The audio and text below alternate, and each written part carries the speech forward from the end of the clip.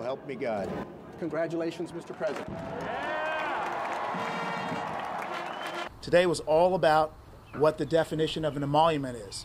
We brought this case because the President of the United States is violating this country's oldest and first anti corruption law by receiving money from foreign governments. He's also receiving money from domestic governments. Those are violations under the Constitution.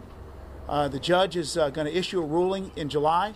We look forward to that ruling, and should the ruling go in our favor, we look forward to proceeding with discovery in this case.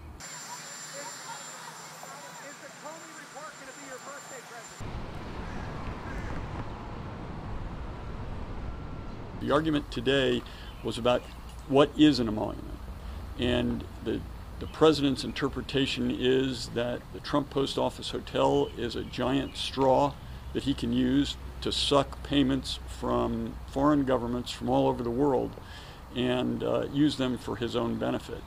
Uh, that interpretation puts us in a position of having to worry about whether or not the President of the United States is looking after himself or whether he's looking after us.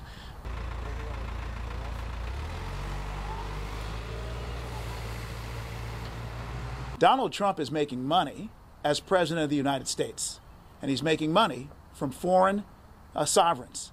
That is flat out illegal under any reading of the Emoluments Clause. We look forward to a decision in July on this case, and we look forward to proceeding if we prevail with discovery. Are you are you suggesting that? Uh... In 2006, he applied to get his, his name trademarked in China. They denied it for 10 years. He went up and down the Chinese court system. Uh, in, on February 9th of 2017, he meets with President Xi of China, reaffirms our commitment to the One China policy. Five days later, they grant his trademarks. So there is certainly the appearance of impropriety. The core legal issues today number one, what does the word emoluments mean? Number two, what's the purpose of it? Number three, uh, what has the government interpreted it to mean all these years?